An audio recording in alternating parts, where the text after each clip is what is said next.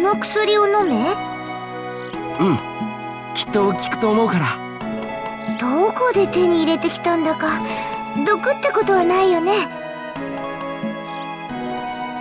なんで私たちがお前に毒を盛らないといけないんだ？それもそうだね。じゃあうんうん。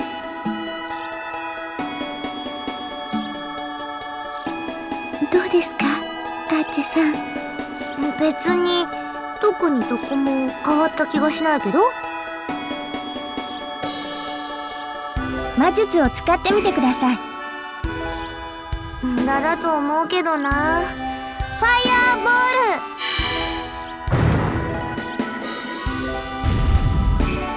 ダブこっちに向けて出すんじゃない。当たったらどうする気だ。ールで出た！よし。よかったですねアーチェさん。ファイヤーボールファイヤーボール。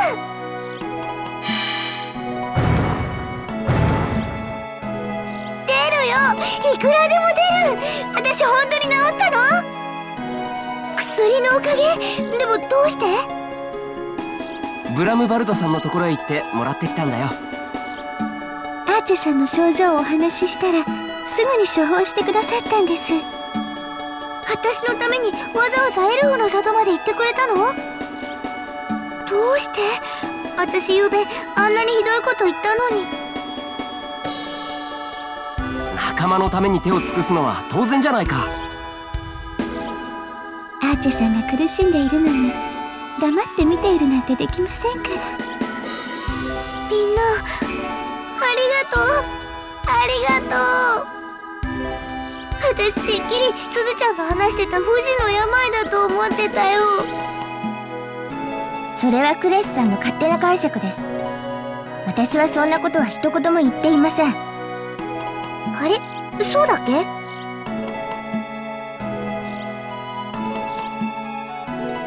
一度その症状が出てしまうと放っておく限りそのままだそうです。富士の病ってこと？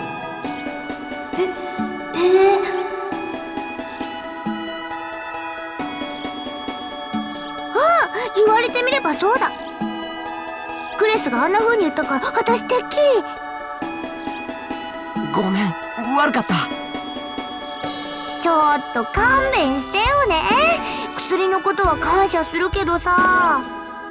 いやいや本当に。あ軽率な発言で悪かったって思ってるよ。もうアーチェに文句を言う資格はないぞ。一番軽率なのはお前なんだからな。なんでよ。アーチェさんの出張の原因はご自分で取ってきたキノコなんです。キノコ？あのシチューに入れたやつ？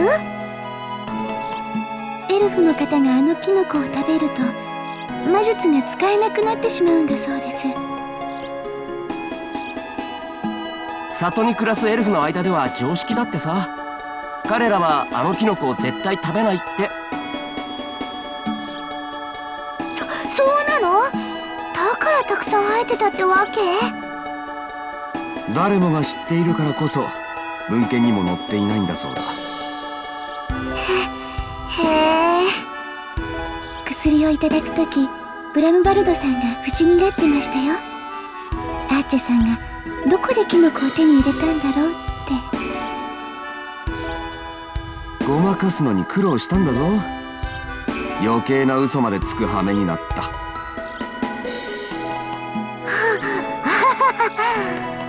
ままあ無事に治ったってことで結果オーライじゃん。これからは今まで以上にバンバン活躍するからさ。だから許して。ねね。まったくお前というやつは。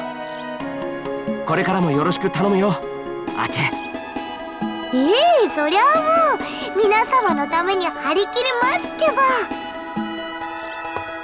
なあアチ。ェおはようチェスター。今起きたの？これやるよ。この読み何？あれから徹夜して作ったんだ。今日からの修行に間に合うようにって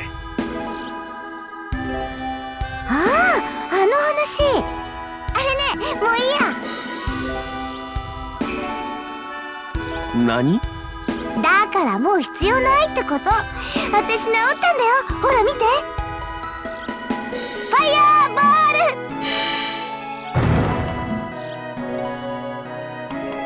ル。ね？だからもう弓の修行しなくていいの。やっぱ私は魔術師が一番似合うよね。チェスターにも面倒かけずに済んだし。これで一件落着だね。ブうわ帰ら死にやがれこのバカ女!何よいきなり。あんた喧嘩売ってんの？おうよ特売状態だぜ!さあ買え買いやがれ!何よ？何なんだあいつらは。朝から騒がしい。